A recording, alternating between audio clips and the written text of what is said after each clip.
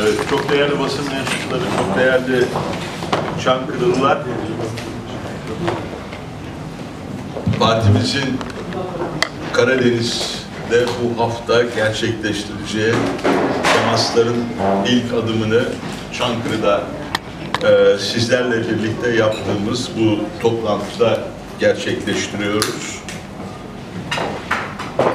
Türkiye'de iki şey yükseliş halinde bir döviz, bir de Zafer Partisi. Çankırı'da da aynı yükselişin olduğunu büyük bir zevkle, keyifle görüyoruz.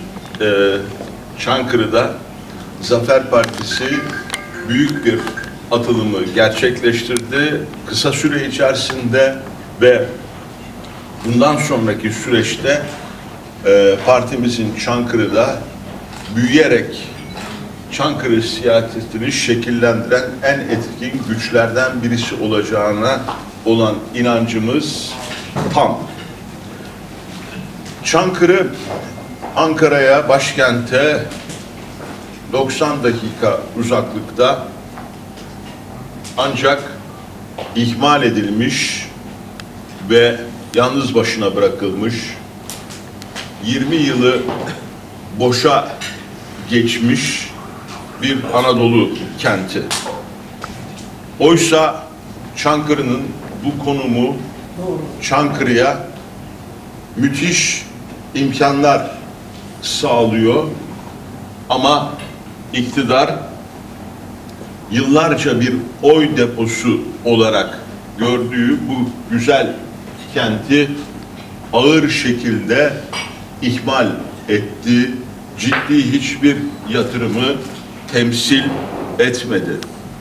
Bugün Çankırı'da üniversite Türkiye'nin en seçkin ve en cazip üniversitelerinden birisi olabilecek konumda.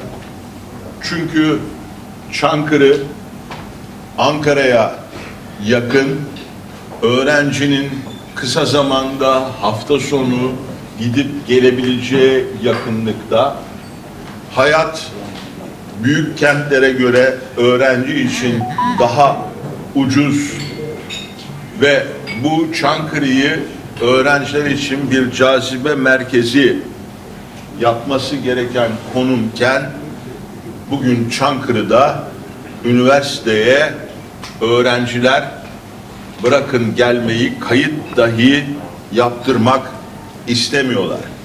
Çünkü üniversite sadece binalar ve birkaç hocadan ibaret değildir. Üniversite aynı zamanda kütüphanelerdir, sinemalardır, tiyatrolardır, sosyal faaliyet kulüpleridir, spor kulüpleridir, kafelerdir, lokantalardır. Yani bir organik bütündür.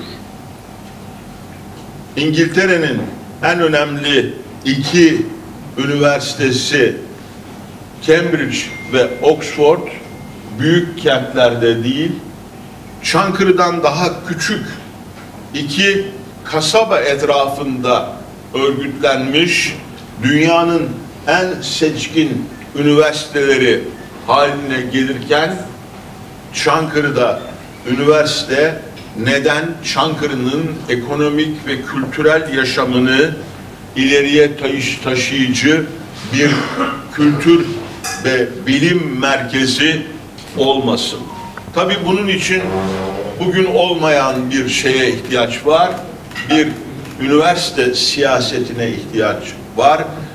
Bilgiyi önceleyen bir siyasete ihtiyaç var.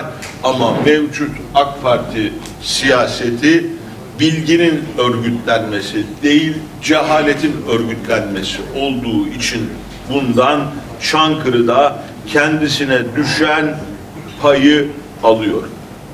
Evet, Çankırı sanayide ve tarımda ihmal edilirken biz bu ihmallerin nasıl yaşama etki yaptığının üzerinde durmadan biz ne vaat ediyoruz onu Çan, sevgili Çankırılılarla paylaşmak isteriz. Sevgili Çankırılılar, Türkiye'de sanayi ne yazık ki sadece Marmara bölgesi etrafında ve İstanbul'da yoğunluk kazanıyor. Ee, İstanbul 18 milyon nüfusa doğru ilerliyor. Çevresiyle birlikte Marmara bölgesiyle birlikte 25 milyonu aşan bir nüfusla karşı karşıyayız. Türkiye sanayinin neredeyse tamamı bu bölgede. Bu aynı zamanda Türkiye için bir milli güvenlik riski. Marmara bölgesinde gerçekleşecek bir deprem İstanbul depremi sonrasında tedbirlerimizi önceden almazsak Türk tarihinin en büyük felaketini yaşayacağız. İşte biz bu noktada dört bölge, dört deniz projesiyle İstanbul ve Marmara'da odaklanan, yoğunlaşan sanayiyi Türkiye'nin dört denize açılan bölgesine taşımak istiyoruz. Ağır sanayiyi Zonguldak liman olmak üzere bir tarafta Bursa, öbür tarafta Çankırı ve Ankara hattına, Karabük hattına taşıyacağız. Böylece Çankırı önümüzdeki süreçte Zafer Partisi yönetiminde Türk ağır sanayinin önemli merkezlerinden birisi haline gelecek. Coğrafyası buna uygun, insan yapısı uygun ve uygunu olmayan tek şey 20 seneden beri Türkiye'yi yöneten zihniyet. O da 2023 seçimleriyle birlikte Türkiye'den ayrılacak ve yapmış olduğu tahribatı gerisinde bırakarak tarih sahnesinden kaybolacak. Yine Çankırılılar önemli bir sorunla karşı karşıyalar. Bütün Türk milletinin olduğu gibi önemli bir sorun. Bu Türkiye'nin neresine giderseniz gidin. Burada bir Recep Tayyip Erdoğan Parkı yapılmış. Ee, ne yapalım ismi hoşumuza gitmedi ama park parktır.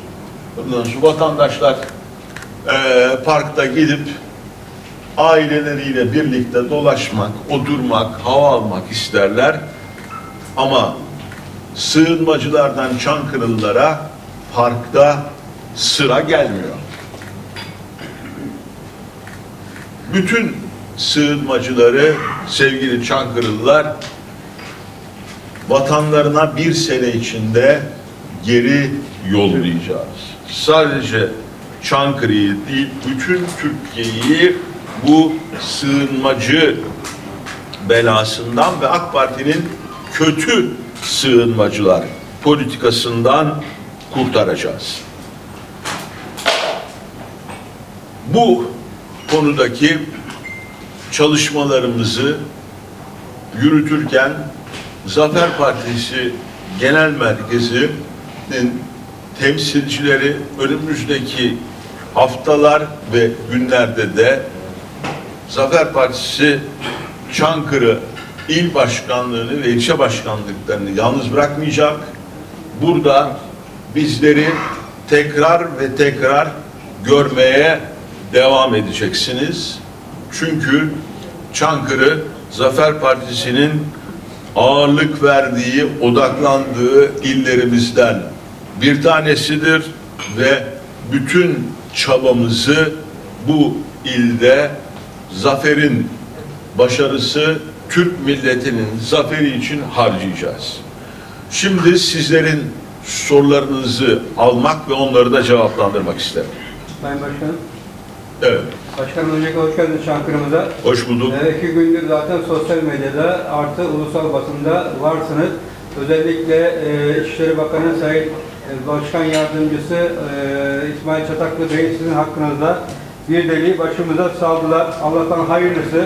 Sen insan mısın Ümit Özdağ gibi söylemleri vardı. Bu söylemlere ne diyorsunuz?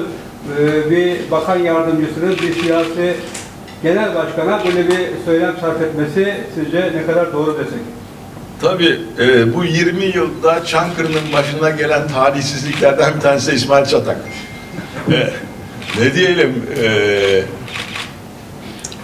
İçişleri Bakanlığı devlet demektir. Çok önemli bir bakanlıktır. E, bütün valiler, kaymakamlar, emniyet müdürleri, jandarma komutanları İçişleri Bakanlığı'na bağlıdır. Bir bakanlığın e, olağanüstü hassasiyetle bir devlet terbiyesiyle yönetilmesi gerekir. Devlet terbiyesi e, her devlet bürokratının sahip olması ve itinayla da yaşama geçirmesi gereken bir husus. Ancak ne yazık ki Türkiye e, Lübnanlaşıyor. Türkiye'de devlet Lübnanlaşıyor. Ne demek istiyorum? Ee, bakın Lübnan'ı Batılılar Osmanlı çekildikten sonra kurarken devleti değişik dinler ve mezhepler arasında paylaştırdılar. Sonra aradan 10 yıllar geçti. Irak'ı işgal ettiler ve Irak'ı ayrıştırdılar. Büyük Ortadoğu Projesi çerçevesinde. Büyük Ortadoğu Projesi çerçevesinde Türkiye'de de devlet, tarikatlar ve cemaatler arasında paylaştırıldı.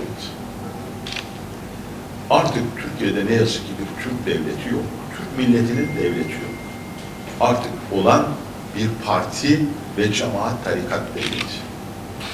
Ve İsmail Çatak gibiler Türk bürokratı değil. İsmail Çatak gibiler tarikat, cemaat, parti bürokratları. Bunlar da Türk devlet terbiyesinin olması mümkün değil. Ve Türk devlet terbiyesine sahip olmadıkları için de ve büyük açıkları olduğu için de her türlü kullanıma müsait oldukları için de bugün bulundukları görevlere getirilmiş durumdalar. Esasen Süleyman Soylu'nun çalışmış olduğu, birlikte çalışmış olduğu bütün ekip yakın çalışma arkadaşları bir ciddi bir adam var. Bakan yardımcısı. Onunla ilgili hiçbir şey söylemiyorum. Çünkü gerçekten ciddiyete sahip bir zat, saygıdeğer bir zat. Ama iki başkan yardımcısı birlikte çalıştığı birinci çember, ikinci çember, üçüncü çemberdeki bürokratların hepsi defolu. Onun içinde Süleyman Soylu'nun kriminal yönetiminin unsurları. İsmail Çatak da bunlardan bir tanesi. Aslında FETÖ'den tutuklanması gerekirken 15 Temmuz öncesinde istediği bir atama gerçekleşmediği için şans eseri kurtulmuş bir adam. Bunu nereden biliyorum? Bunu kendisi sağda solda söylediği için biliyorum. Şimdi bu adam aslında İçişleri Bakanlığı'ndaki birçok vatansever devlet terbiyesi almış bürokratın da içini kanatacak şekilde seviyesiz ve devlet ahlakına aykırı bir üslupla Zafer Partisi'ne ve bana bir parlamentere saldırıyor. Ama işin üzücü yanı Türkiye Büyük Millet Meclisi Başkanı da bu bürokratın yapmış olduğu bu ahlaksızca itham ve saldırılar karşısında susuyor. Buradan Türkiye Büyük Millet Meclisi Başkanlığı göreve davet ediyorum. Açıklama yaparak hiçbir bürokratın bir parlamentere, bir Türkiye Büyük Millet Meclisi üyesine hakaret edemeyeceğini ve haddini bilmesi gerektiğini söylesin. Ha, o söyler söylemez bir bilmiyorum ama ben Süleyman Soylu dahil Zafer Partisi'ne saldıran herkese ve tabii Recep Tayyip Erdoğan dahil herkese Zafer Partisi Genel Başkanı olarak haddini bildiririm, bildirdim. Bundan sonra da bildirmeye devam edeceğim. Evet. Efendim Zafer Partisi'nin ana politikası Suriyelilerin gönderilmesi üzerine mi olacak? Bunun dışında politikalarınız farklı politikalarınız olacak mı? Var zaten. Bakın biraz önce dört bölge, dört deniz projemizi anlattım.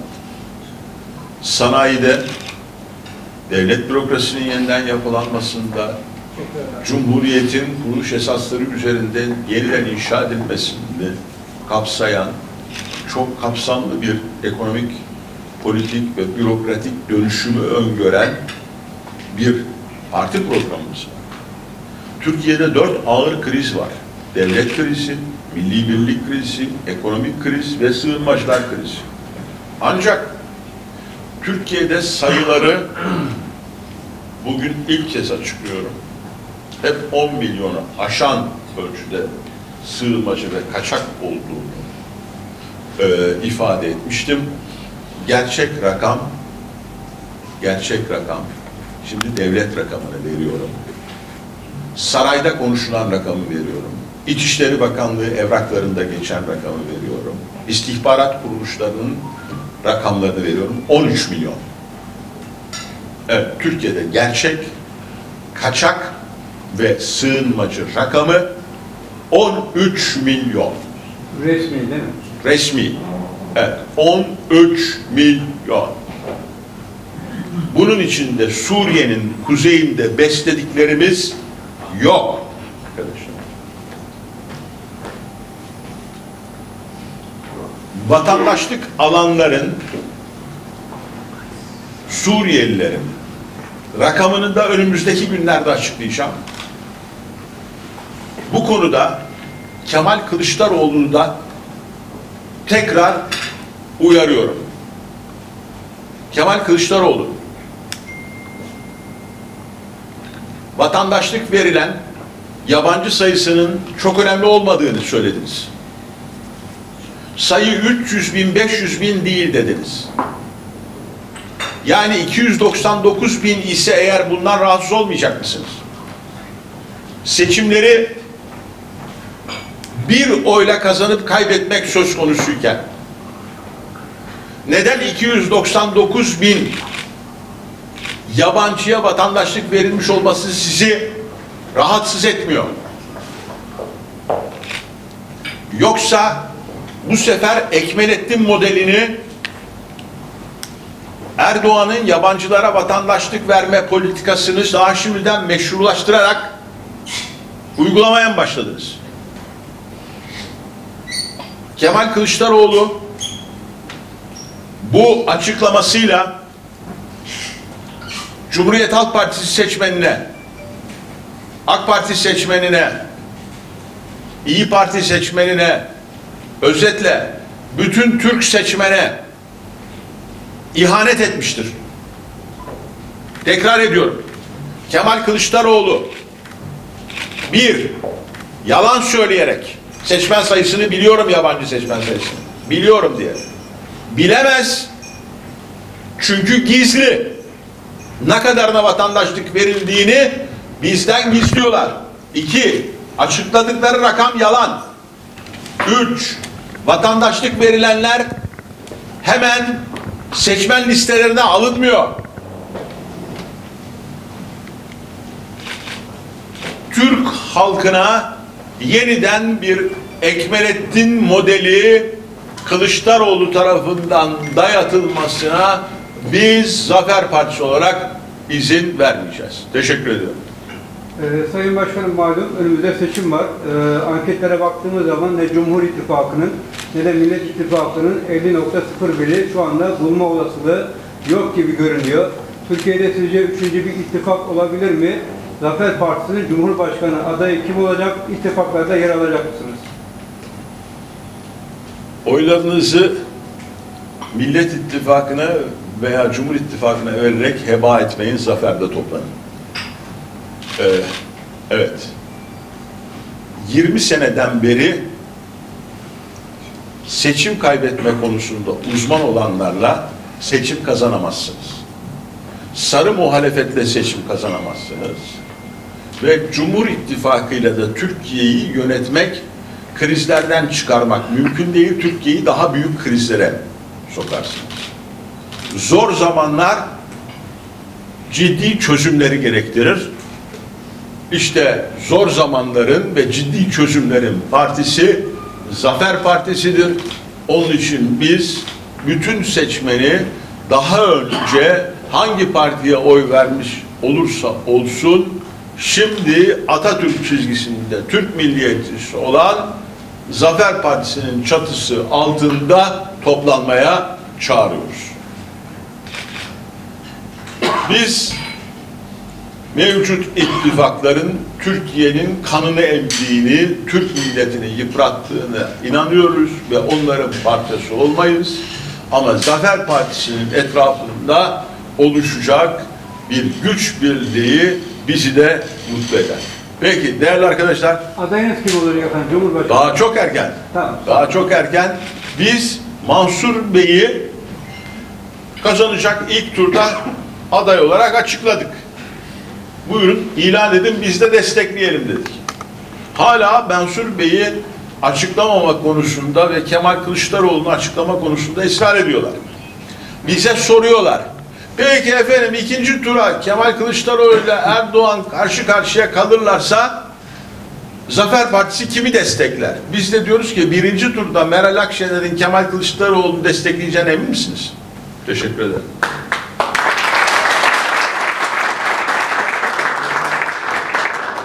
Başkanım müsaadenizle program dışı bir e, Sayın Genel Başkan Yardımcısı Mustafa Can Bey'e bir Ha, evet, evet. olacak. Evet.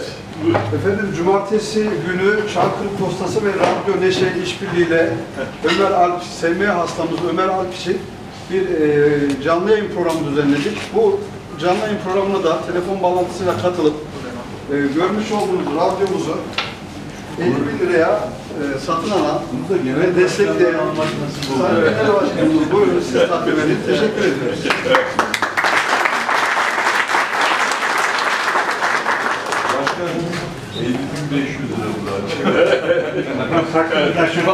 Poz alabilir miyiz? Sağ olsun. Birlikte